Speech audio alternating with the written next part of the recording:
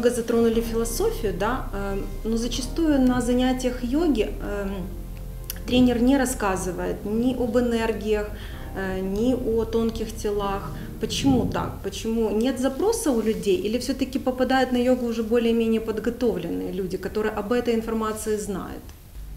Здесь сложно как-то все в одном ключе проанализировать. Много факторов есть.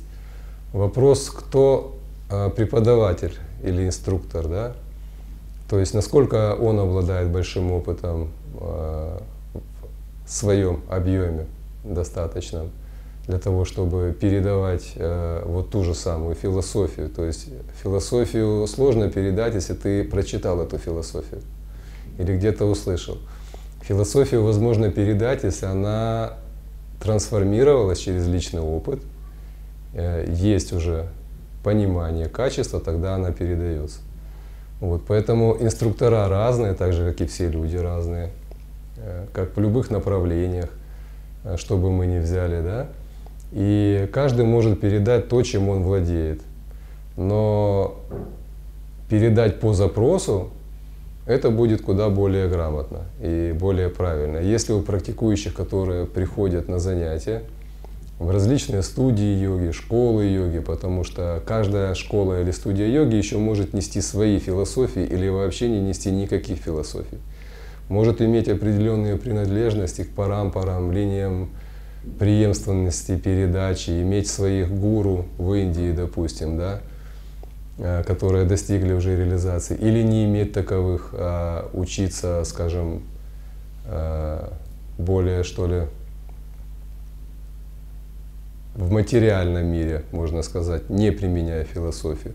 И здесь мы получаем, во-первых, э, что несут те или иные школы или студии йоги, как институты, которые передают знания. И второе, что хотят практикующие получить. И вот здесь получается такая история. Человек хочет пойти на йогу, он слышал о йоге, и у него есть понимание некое. Он приходит в одну студию позаниматься или там к одному учителю, к одному мастеру. Ему не понравилось, допустим.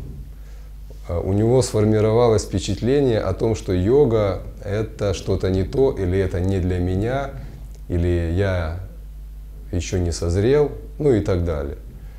Вот. Или пошел к другому мастеру, другому ученику, а, там понравилось, или там нет ответов на те вопросы, которые есть, и человек в любом случае получает вот какие-то себе а, глубинные остановки, которые бы нужно было развязывать.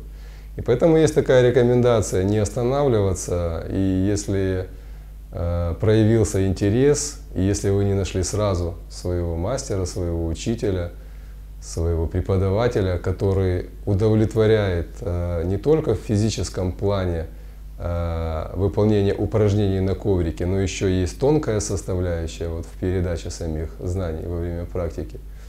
Вот. Ну, тогда нужно искать, нужно второго, третьего, пятого, десятого посетить мастера-инструктора, если таковые имеются – где мы находимся. И в конце концов мы найдем э, наиболее подходящего для нас. Потому что обратная связь, она всегда имела очень большую весомую роль. То есть нравится, не нравится, полярность, чувствую, не чувствую. Вот. И поэтому, так же, как во взаимоотношениях просто людей между собой, мы или симпатичны друг другу, или подходим также и в йоге отношения ученик и учитель или ученик и преподаватель, они имеют большое, большое значение для развития. В любом случае, если возник интерес, то останавливаться не надо. Вперед, вперед и только вперед. Мое мнение, да. То есть интерес просто так не возникает на ровном месте. Если возник интерес, значит задан уже определенный импульс, и этот импульс э, как проводник – Э, направляет нас. Стоит слушать свое тело, стоит слушать э, свою душу, свой внутренний голос и двигаться. И если мы пришли не туда по ошибке, ну, значит нужно искать, ищи, искать дальше до тех пор, пока мы не найдем.